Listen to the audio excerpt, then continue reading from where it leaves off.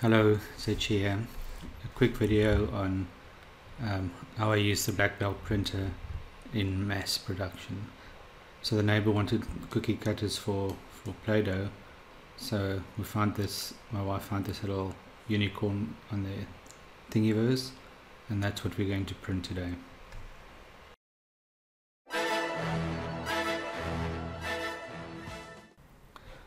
So the latest version of Black Belt Cura has this option of how many copies you want to print and the distance between them.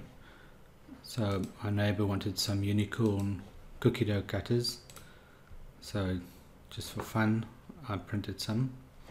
So if we have a look at the, the layer view of this.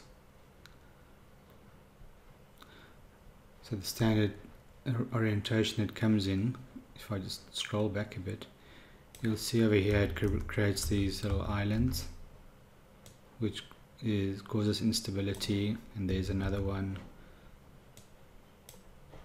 There's another one.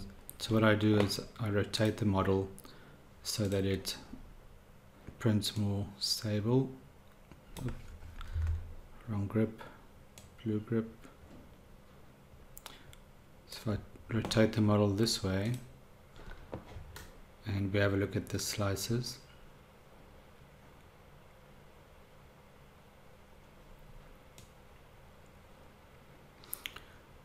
Then it's much more smooth. See there's one little island being built there but it's much more stable this way around. So this is what I printed. Six copies 50 millimeters apart. And there was another setting that I found number of slower layers and I switch that to 10 so the first 10 layers would be gradually stepped up in speed. So that gives a much more solid bed adhesion